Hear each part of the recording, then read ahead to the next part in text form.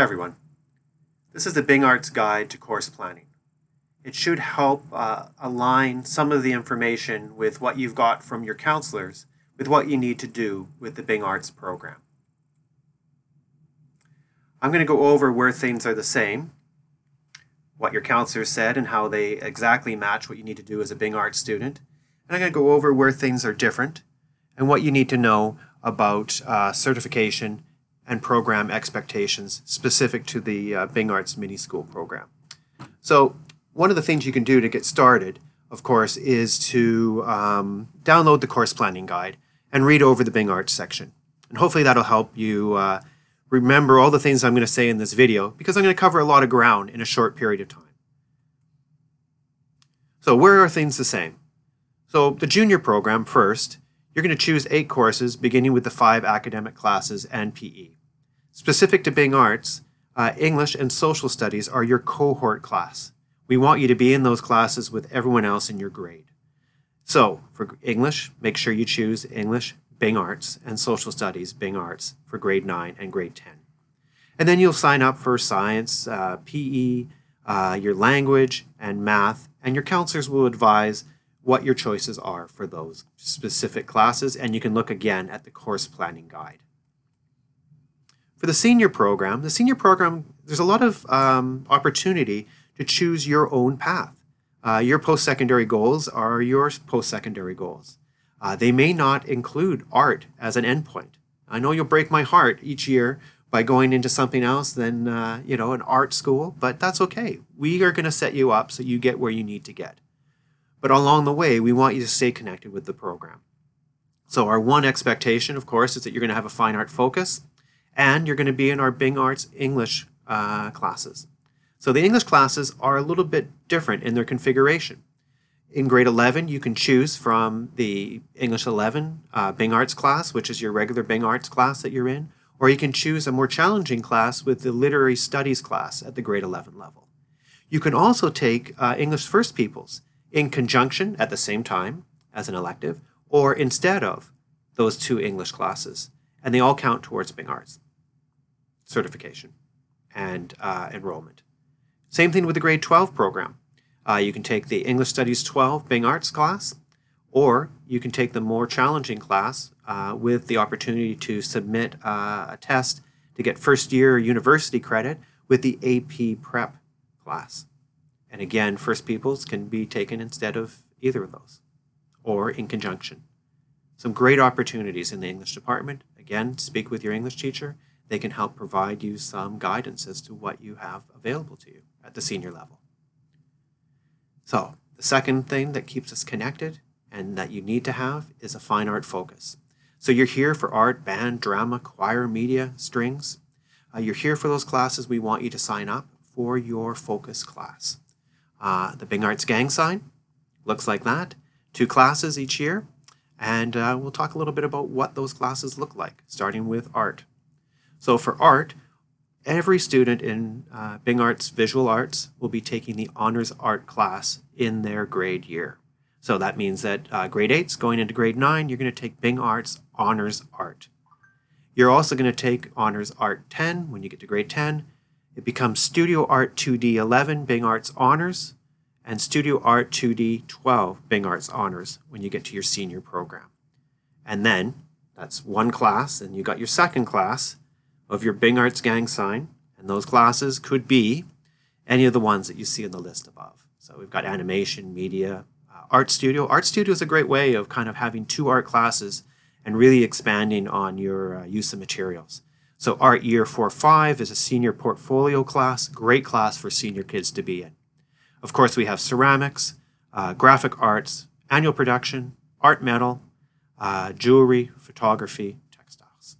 So lots to choose from if you're an art student here in terms of fulfilling your two classes a year. For band, choose the appropriate level of concert band. That's where you start. And if you're not sure what level you should be in, junior, intermediate, or senior win, talk to Dr. McLennan. He can help set you straight. Then in addition to the concert band class, you would take either symphony or jazz band at the appropriate level. Choir has the same kind of format.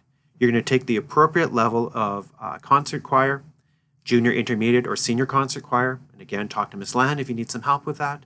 And then you're going to add, where appropriate, uh, chamber choir, contemporary music, treble voice ensemble. Uh, those are your courses that you can uh, take a look at. And there's a little bit of crossover where you could have, um, you know, another music class from another area. So you could also be in strings at the same time. But make sure that you've completed your choir or your band requirements first. You can see that there's an overlap between band and strings with symphony. So there's a lot of ways that we can kind of join uh, each other in our other classes. But make sure with strings here, starting again, that you've talked to uh, Ms. Anderson about what class you should be in. And I think that she's been speaking with each of you as you've been uh, finishing up each quarter as to what class you're going to. And she's doing an audition process. So I think she's going to have that sorted out and you're going to know where you need to go.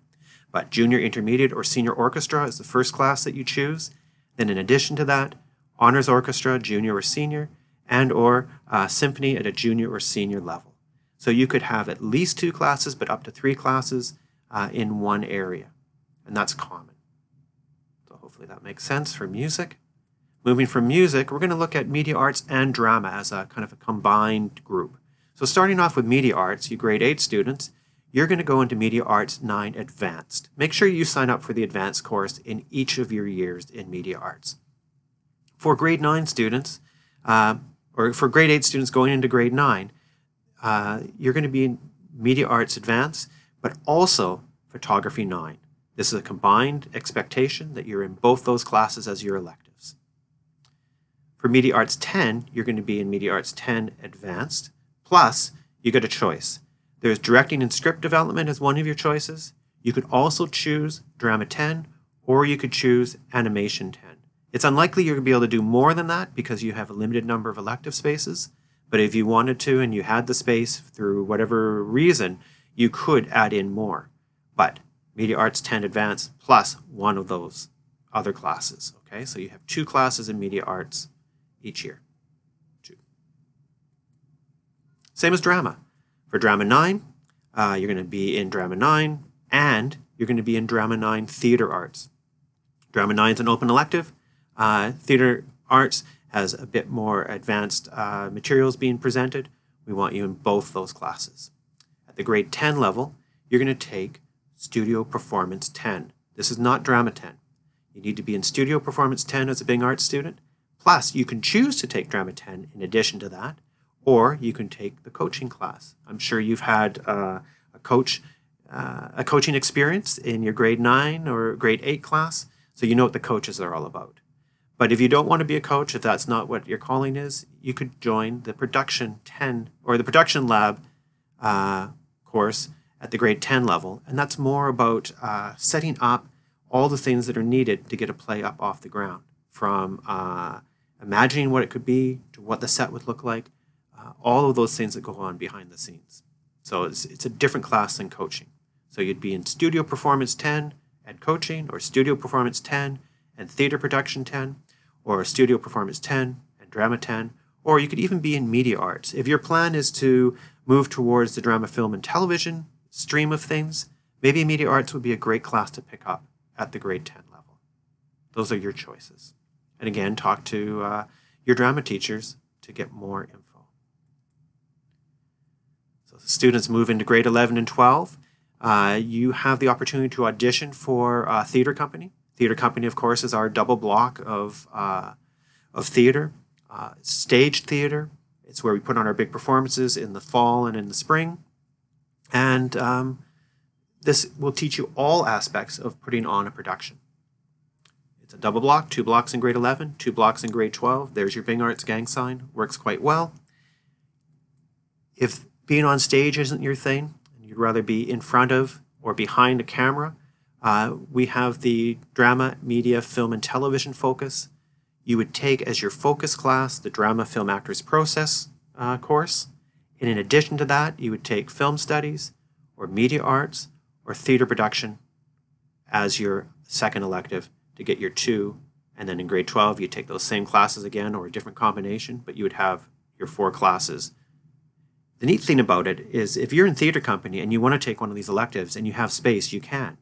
If you're in one of these uh, classes and you want to uh, take more uh, electives in uh, in uh, media, you can. So there's a little bit of crossover there. They're not uh, necessarily separate. If you have enough space, you can take these courses. But that's the focus. If you want to be doing the drama, media, film, and television focus, it's film actors process, plus one other elective each year. And lastly, if you want to be simply behind the uh, uh, behind the computer, kind of setting things up, um, filming, all of those processes. Uh, there's the media arts uh, video animation section where it's a bit more focused on uh, media design with animation, with media arts, with the advanced class, potentially uh, film studies to give you a little bit of context to the films that you're making. Again, talk to uh, Mr. Booker, talk to Mr. Howes about direction in those three areas. Lastly, literary arts. Um, perhaps uh, this has been a passion. Uh, you've enjoyed English all the way through. Remember that in addition to your strings uh, focus or your visual arts focus, you can take a uh, literary arts focus as well. You could get a double honors by the end of uh, the whole program uh, if you take enough of the courses in each of the areas. English looks the following way. you would take four of the following to get a major or an honor, or three of the following to get a minor. English, Literary Studies, that's an advanced English class. English 12, AP Prep, that's the advanced grade 12 class. Brit Lit is an elective.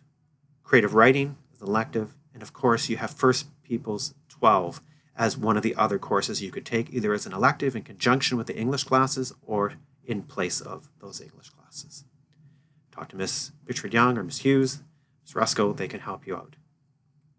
And Mr. Harris, sorry. So lastly, Byng Arts Gang Sign, what does it mean? Two classes in grade 11? Oh no, two classes in grade 12 uh, in your focus area.